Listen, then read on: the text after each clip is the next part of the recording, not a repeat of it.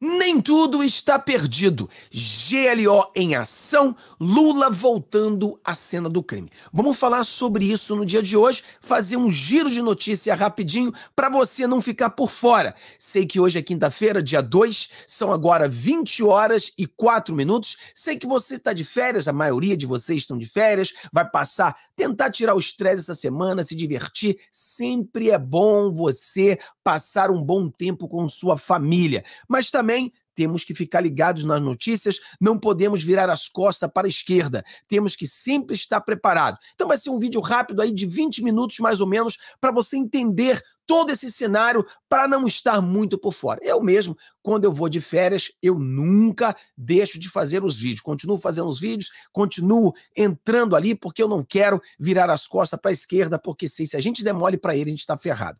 Galera, inscreva-se no canal se você não está inscrito ainda, dê essa força para gente. Nós tivemos mais de 20 mil pessoas nesses últimos meses, agora esses últimos dois meses, entrando no nosso canal. Venha fazer parte dessa família, faça parte, vamos nos unir para vencer. Você que acredita que nem tudo está perdido, vem fazer parte do time, porque nós venceremos. O que eu vejo é que a direita está vencendo. A direita, nós iremos conquistar muito em 2024. 2024 será um dos anos mais importantes da direita no Brasil e nos Estados Unidos e no mundo. Então vamos prestar atenção no que está acontecendo. Inscreva-se no canal, não dê mole. Vamos lá. Olha só o que a gente vê acontecendo, a esquerda derretendo em tudo quanto é lugar e muitas pessoas não estão entendendo. Olha só isso aqui, vamos lá.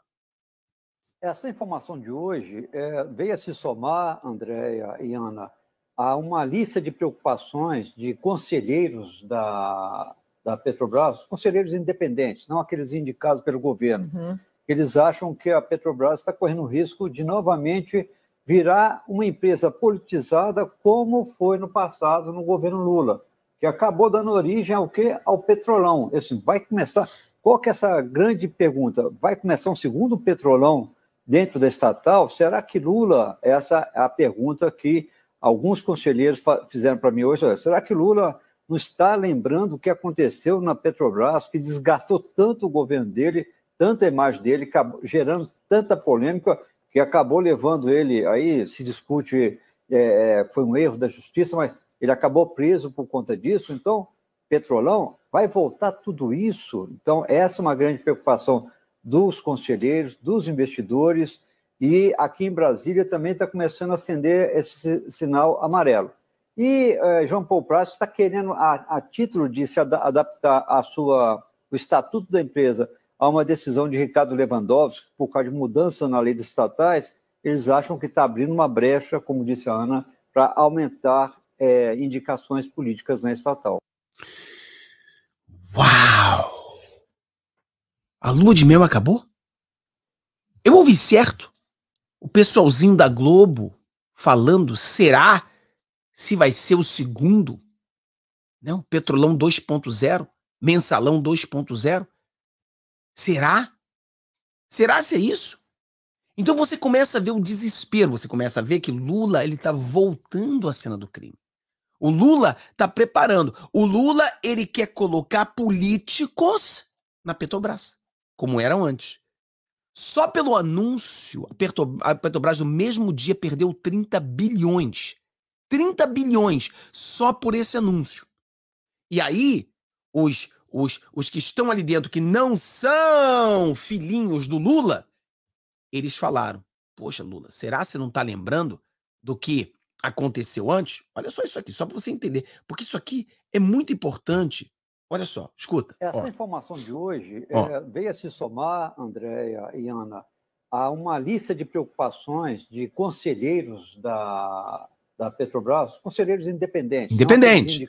Não, não os filhinhos do Lula. Eles acham que a Petrobras está correndo risco de novamente virar uma empresa politizada como foi no passado Olha. no governo Lula, hum. que acabou dando origem ao quê? Ao petrolão. Esse vai começar. Vai começar o petrolão 2.0?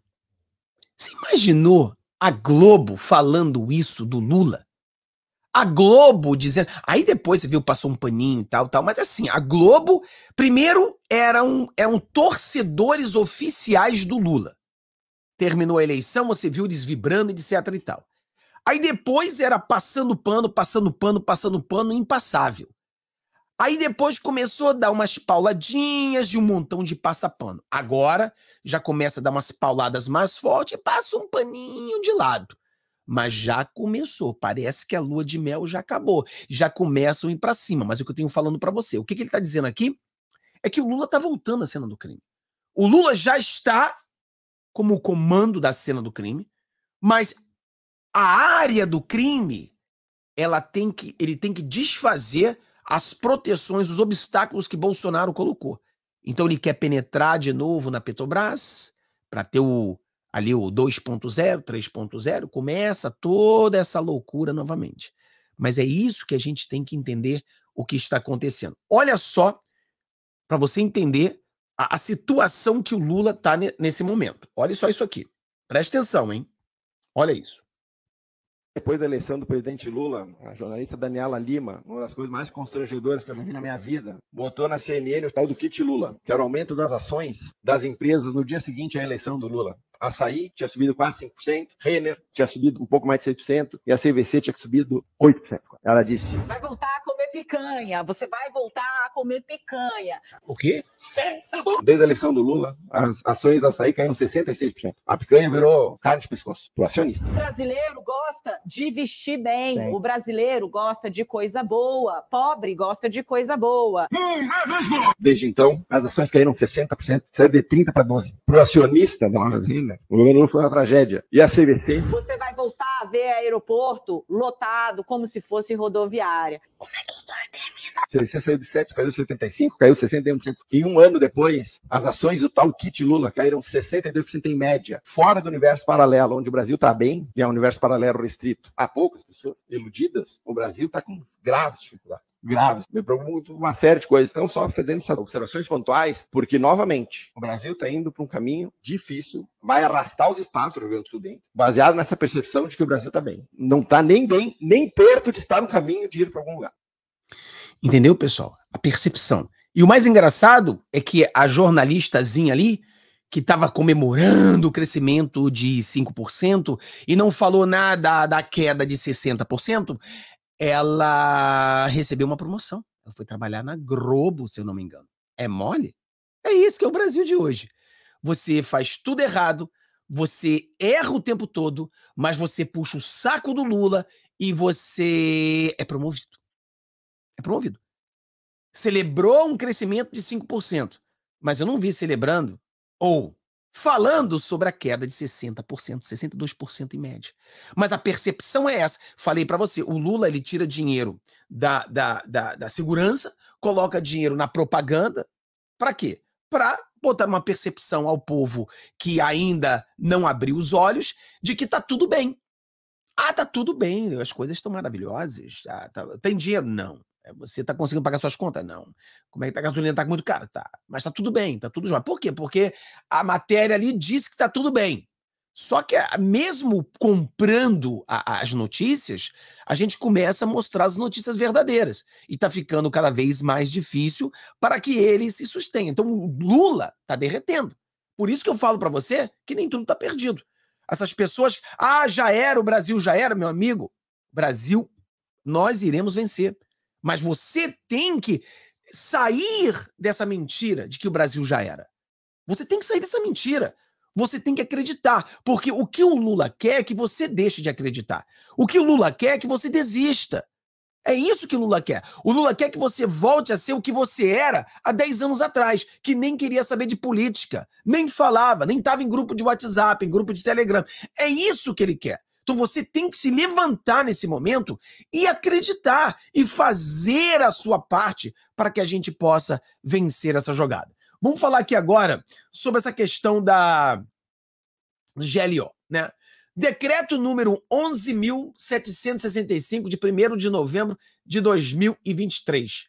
Autoriza emprego das Forças Armadas para garantia da lei e da ordem em portos e aeroportos. Então, o que aconteceu? Aí, quando eu leio, porque você está tendo algumas informações aqui que estão diferenciadas. Algumas matérias dizem, que eu já li em várias matérias, que essa, esse decreto do GLO eram 2 mil soldados do exército, 1.100 soldados da aeronáutica e. Não, 1.100 da marinha e alguns da aeronáutica, os três. Aí algumas matérias dizem que o exército ficou de fora. Então a gente já tem aqui agora uma questão que ninguém entende. Na no documento oficial, no diário oficial, no decreto, ele autoriza as Forças Armadas e diz as três. Ele fala da Marinha, da Aeronáutica e do Exército. Então, no documento oficial, ele não tira o Exército, ele fala dos três. Agora, pode ser que ele fale dos três para que os três estejam prontos para quando chamados. Pode ser. Mas o documento oficial, ele coloca as três forças em GLO. Então, as três forças está sob o comando do Lula para ir para nesse caso para os portos e aeroportos. Então a gente tem que entender isso. Agora, Fábio, por que o Lula fez isso? Aí começam especulações, começam teorias conspiratórias que nós não gostamos. Você sabe que o nosso canal não gostamos de teoria de conspiração, não gostamos de mentira. Eu sei que eu sou muito criticado, já teve pessoas, mas Fábio, se é esquerda mente, a gente tem que mentir também. Não, não temos. Existe uma diferença entre nós e eles, muito grande nós temos caráter, nós temos uma uma nós temos princípios. Eu não jogo meu princípio no lixo para fazer as mesmas coisas que eles fazem. Então não, não, não tem mentira. Nós falamos a verdade. Então a gente tem esse problema, tem essa briga, que eu sou totalmente contra a mentira e tem gente que não gosta, porque ele quer contar mentira. Se a mentira for contra o Lula, então ele quer que seja contada. Não, não adianta que a gente não briga com essas armas. Eu não vou é, é, estar de mal com meu Deus para falar uma mentira que você quer ouvir. Isso não vai acontecer. Me desculpa, mas isso não vai acontecer.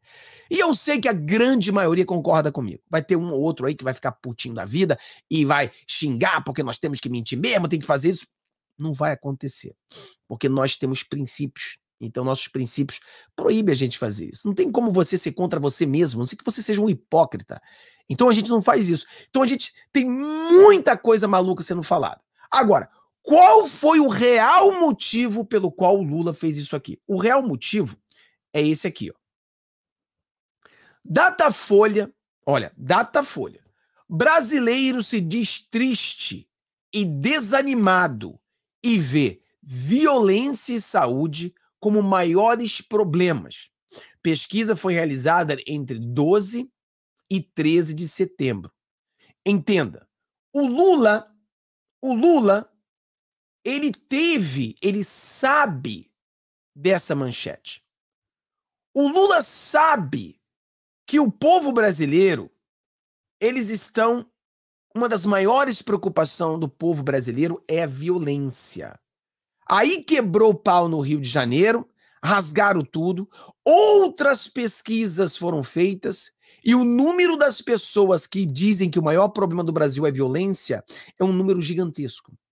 O Lula não se preocupa com o povo brasileiro, o Lula não se preocupa em resolver o problema é, do povo brasileiro. Eu fiz um vídeo ontem, não sei se você assistiu, aonde nós mostramos que a direita buscou uma lei para aumentar a pena, até mesmo de criminosos por latrocínio.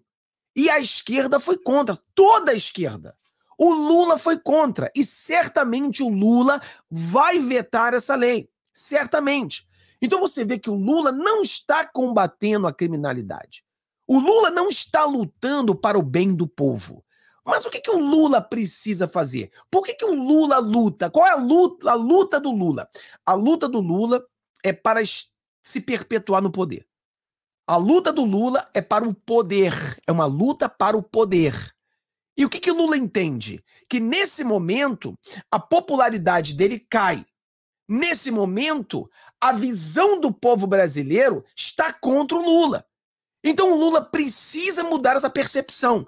Então o Lula cria uma, uma LGO, coloca o exército nas fronteiras e aeroportos, que literalmente não resolve nada. Não resolve nada. Absolutamente nada. Eu sei que a polícia militar é muito mais bem preparada para subir o morro e a favela do que o exército. Mas se ele se juntasse onde o exército faz algum tipo de trabalho e a polícia militar sobe o morro, sobe as favelas, é onde nós teríamos o resultado. Mas o Lula não quer isso. O que o Lula quer é passar uma percepção engano, enganadora para o povo. Para que o povo pense que Lula está fazendo algo para proteger as pessoas. Então a GLO é uma questão de percepção. Eu vou criar uma GLO, vou botar os soldados nas fronteiras, nos aeroportos, vou botar os soldados. Blá, blá, blá, blá. Uh, estamos brigando contra o crime organizado. Não tá. Não tá, mentira. E não tá colando. Então foi uma tentativa de aumentar a sua popularidade. Foi uma tentativa de dizer que está fazendo alguma coisa. Uma jogada de campanha para as eleições de 2024. É isso que o Lula está fazendo. É isso. Como ele está derretendo, ele precisa fazer algo que venha enganar o povo, acreditar que, uau, o Lula agora está combatendo o crime organizado. Putz, combatendo o crime organizado simplesmente colocando soldados em aeroportos e portos. Sério? Porque mesmo as matérias, por exemplo, dos jornais de esquerda, olha só. Anúncio de GLO parece plano milaborante pouco efetivo, diz especialistas. Cara, especialistas de esquerda. Especialistas de jornais de esquerda. Esses especialistas que são pró-Lula, os especialistas como aquela tal de Lima, que festejou com a vitória do Lula, esses especialistas dizendo que o que Lula está fazendo é um plano milaborante. É um plano ridículo. Mas a, a jogada é essa: é fazer plano ridículo, colocar dinheiro na propaganda e fazer com que a população brasileira acredite que ele está lutando contra o crime organizado. E aí você vê as pessoas confundindo, né? Você tem as milícias e você tem os bandidos. Pessoal, os dois são bandidos. Milícia e bandido são bandidos, todos eles. Entendeu? O crime organizado, milícia, milícia é crime organizado. Não separe as coisas. Não pense você que existe a milícia é diferente do, do tráfico, é a mesma coisa. A milícia também envolvida em tráfico. A milícia é a mesma coisa, só muda de nome. Por exemplo, tem o PCC, tem o Comando Vermelho, tem milícia. É só um nome diferente para o mesmo grupo de bandidos. A gente tem que botar isso na cabeça e parar de separar as coisas como que é a esquerda, separando as coisas. Todos eles são bandidos. Os milicianos são tão bandidos quanto o pessoal do PCC, vice-versa. Mas isso aqui não ajuda. Mas isso aqui leva uma mensagem ao povo brasileiro que Lula tá fazendo algo. Rapaz, o Lula tá enchendo a barriga dele de coisa boa, de vinho bom, de comida boa, viajando pro mundo todo, gastando seu dinheiro e cagando literalmente todo, por todos nós. É isso que o Lula está fazendo. O que ele está fazendo é voltar acima do crime. Os escândalos já começam a acontecer. E todos nós estamos vendo. Entendeu? Olha, sem exército, GLO de Lula não terá militar em favela. Análise. Olha, como eu falei para você, eu não acho que os soldados do exército são preparados para entrar em favela a polícia militar, nós temos as polícias especiais militar, que são especialistas em subir em favela, e são dos melhores polícias do mundo. Do mundo. E o exército brasileiro fazem treinamentos de exército, não tem nada a ver com subir em favela. Então, a polícia é muito mais bem preparada. Agora, o exército poderia dar força à polícia, né? Retaguarda, etc e tal, combinar fazer algo junto. Mas a intenção do Lula não é brigar com o crime organizado. A intenção do Lula é convencer a população que ele está fazendo alguma coisa que não está. É, é isso que está acontecendo. Só que não está colando. E aqui ele diz: o exército não está. As outras matérias dizem que o exército está. A, o, o diário oficial diz que o exército foi convocado. Então nós precisamos ainda pesquisar isso aí para saber quem está falando a verdade. GLO de Lula em portos e aeroportos causa revolta à Receita Federal. Se eles cuidassem pelo menos das armas que ficam nos paióis, já estavam ajudando mais, diz auditor sobre inclusão do exército nos portos.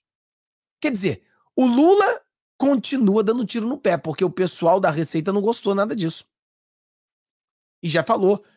E muitos de nós, né, muitas pessoas, porque houve uma uma enganação e eu sofri muito com isso, levei muita porrada por causa disso, porque lá atrás, quando as pessoas confiavam muito no exército, que o exército é a melhor coisa no mundo, o exército brasileiro é o mais poderoso do mundo, que Brasil é o melhor país do mundo, que Brasil é isso, Brasil é aquilo, e eu tentava explicar para as pessoas, olha, o exército brasileiro não são conservadores, o exército brasileiro não realmente está com você, o exército brasileiro não tem munição para lutar um dia sequer, o exército brasileiro tem sido sucateado, Bolsonaro melhorou bastante, mas continua uma sucata.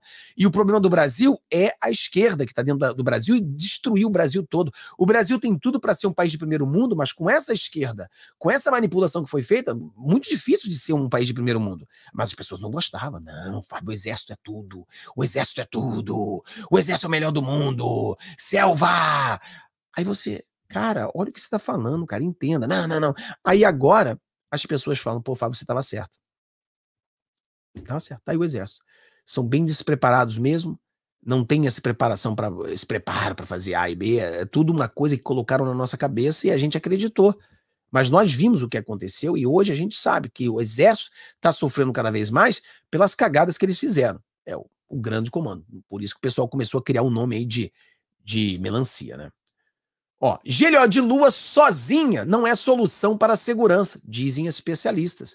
Olha aí, o Merdópolis, o jornal da esquerda, falando que não colou. Lula, sua propaganda política não colou. Então, o que, que é GLO? Fábio, explica para mim. É uma propaganda política. Propaganda eleitoral. É só isso. É só isso. É só isso.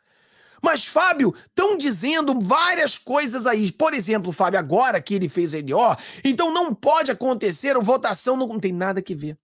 GLO não para a votação no Congresso, pessoal. GLO não para o Congresso, o Congresso vai continuar.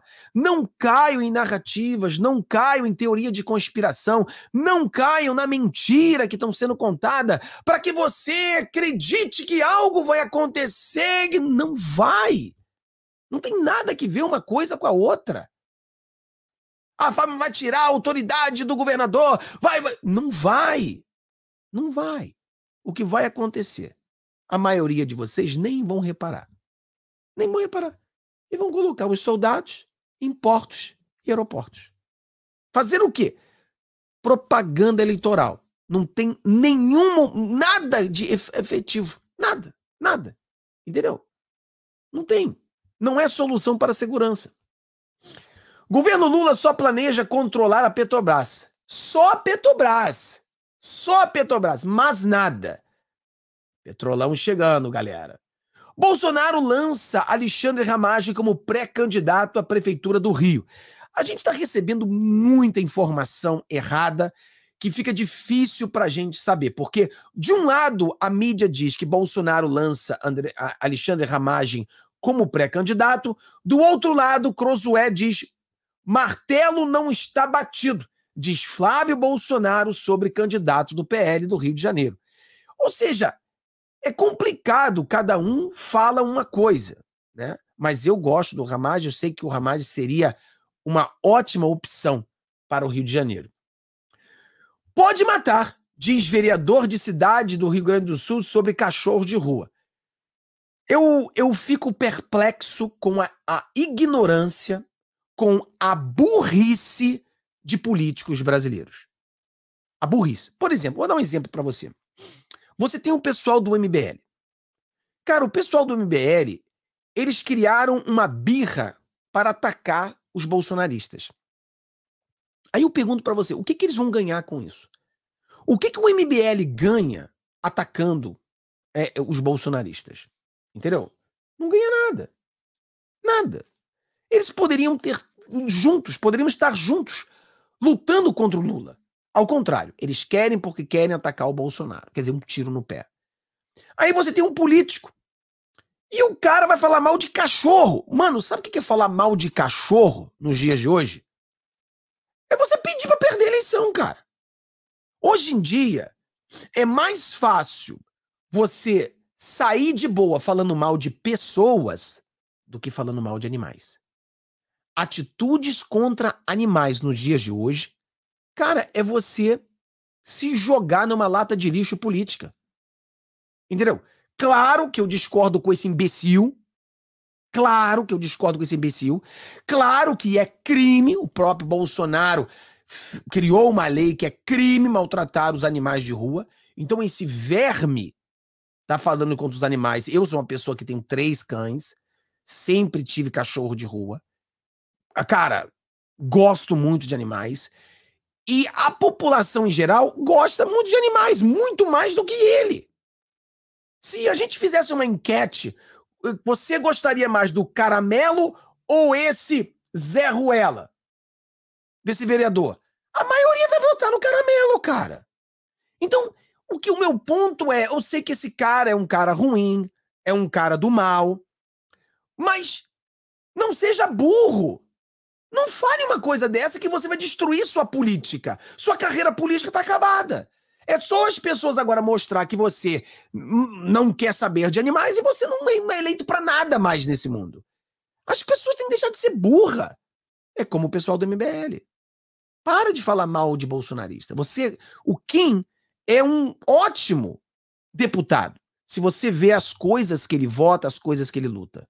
Mas o erro dele é ficar atacando a direita.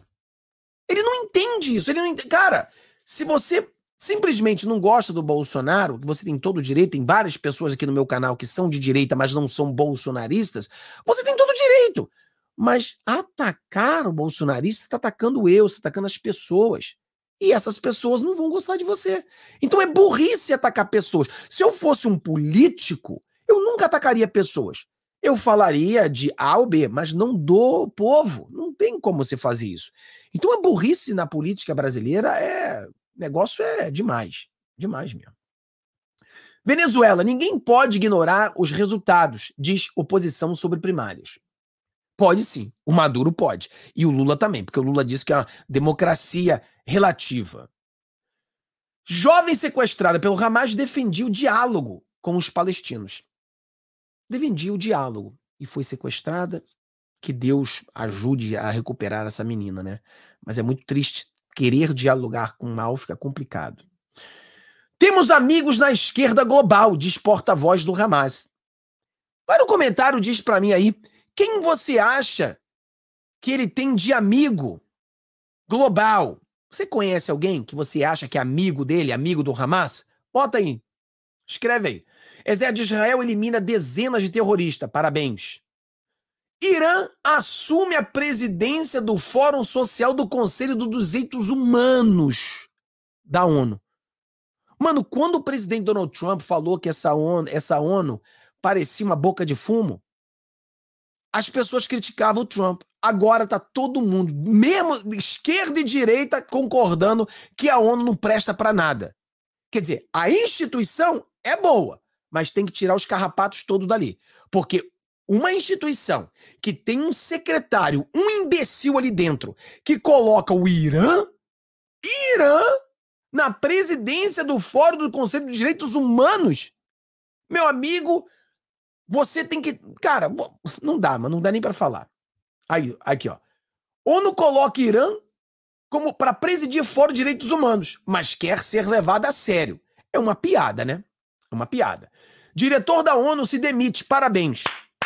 Se tem uma das coisas boas, que porque a, a guerra é sempre horrível, muito ruim, mas às vezes a gente encontra rosas preciosas na lixeira. E se algo bom que aconteceu nessa situação é esses lixos de carrapatos que estão sendo colocados para fora. Uma limpeza na ONU, sensacional. Saiu cedo. Saiu, não saiu não cedo não, saiu tarde, saiu tarde. Terroristas do Hamas brincaram com cabeças deceptadas. Diretor do FBI reforça alerta para terror nos Estados Unidos. Eu acho que é muito sério o, essas fronteiras abertas pelo governo Biden que nos Estados Unidos nós estamos em perigo. Em perigo com ataques terroristas. Tudo por causa do Biden de abrir as fronteiras e deixar todo mundo entrar. Então, com certeza, eu acho que os Estados Unidos está em perigo eminente. Eminente. O Messi deveria servir de exemplo aos jogadores brasileiros. O cara com 36 anos, campeão do mundo, com bola de ouro e tudo. O Messi precisa ser inspiração de dedicação para essa molecada. Quem quiser ganhar bola de ouro tem que se dedicar. Tem que ser profissional. Não combina com farra, não combina com noitada. O Lula dando uma indireta para o Neymar, né? O cachaceiro falando que as pessoas não devam beber. Lula, o maior exemplo que você poderia dar para o povo brasileiro não é falar do Messi, é você renunciar. Renuncie, Lula. Fala para o povo brasileiro: você não merece um presidente cachaceiro, analfabeto e bandido. E renuncie. Porque o povo brasileiro, as crianças, olham para você como presidente e você buga qualquer pai de família para explicar para um filho como é que você se tornou presidente depois de fazer tanta merda que você fez. Então, se você quiser dar uma, um exemplo, cara, renuncie o seu cargo. Aí eu vou aplaudir, cara. Eu vou aplaudir. Ó, parabéns o Lula, que ele entendeu que ele não é exemplo para ninguém, ele não pode ser um presidente e para ajudar as crianças ele pede para sair. Agora todo pai pode explicar por que, que o Lula deixou de ser presidente. Seria sensacional. Vamos aqui algumas respostas rapidinho para a gente terminar. Eu sei que está um pouquinho tarde. Olha, Salles leva em primeiro turno porque ele conhece meandros cap da capital. O nosso querido, nossa querida Antônia, não devem estar entendendo muito da política. Esse é o problema. Nós, para falarmos de política, nós temos que tirar o coração e temos que fazer análise. E não ficar fazendo desejo. Isso aqui é aquela matemática. 1 mais 1 é igual a 7. Mas, mas oh, dona Antônia, 1 mais 1 são 2. Não, não, mas eu quero que seja 7. Eu sinto que é 7. Eu sei, a senhora pode sentir o que quiser. Mas 1 mais 1 são 2. A cidade de São Paulo, todo mundo que estuda política sabe que é uma cidade complicada, uma cidade bem de esquerda limpinha. Então, alguém de direita para ganhar no primeiro turno assim, o, Salles não ganha no primeiro turno, tá? Tudo indica, tá longe ainda, mas primeiro turno não vai ganhar. Não vai ganhar. Isso aí todo mundo já sabe. Então as pessoas têm que botar o pé no chão para entender de política e não ficar falando de achismo, do que, que é. Nós precisamos trabalhar juntos. E para isso nós temos que entender como é que joga o jogo e não ficar na emoção. Eu tenho apreço aos periquitos. Quantos aos urubus só preciso quando eles limpam os cadáveres de bichos mortos? Realmente dá nojo. Você está enganado. É tudo projeto para parar as PECs e não votar os limites do STF.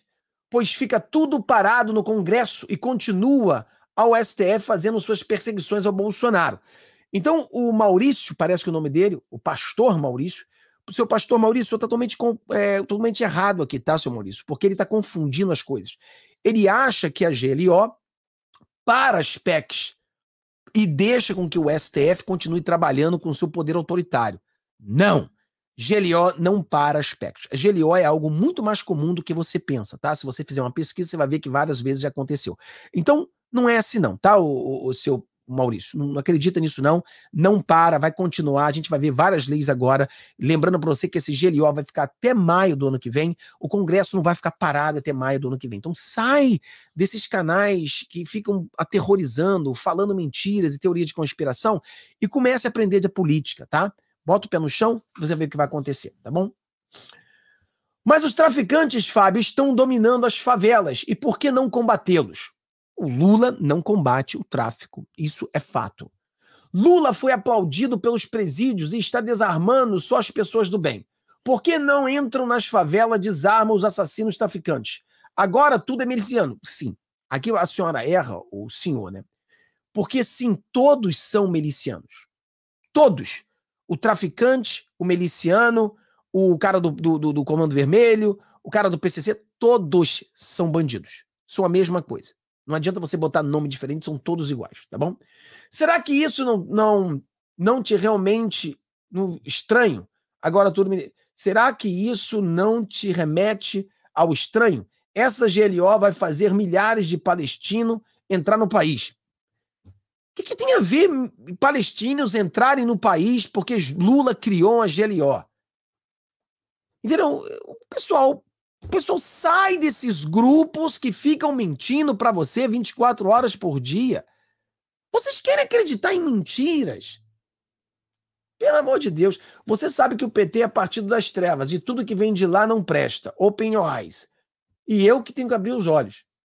Então, tomara que essa pessoa tenha assistido o nosso programa e não caia nessas narrativas de coisa de maluco, que Lula tá botando GLO nos portos e aeroportos para chegar pessoal do Hamas. Pelo amor de Deus, pessoal, isso aí. Vamos, vamos botar o pé no chão, vamos entender o que acontece no Brasil, vamos, vamos levar, vamos sair das fábulas e vamos entrar na racionalidade política. Saiam das fábulas, entrem na racionalidade política para a gente vencer esse jogo. Tá bom? Deus abençoe a todos. Tenham um dia maravilhoso. Vejo vocês amanhã às seis da manhã. Não esqueça, galera. Sei que você está de férias. Sei que você está de, é, de férias esses dias, né? Mas seis da manhã, te vemos amanhã.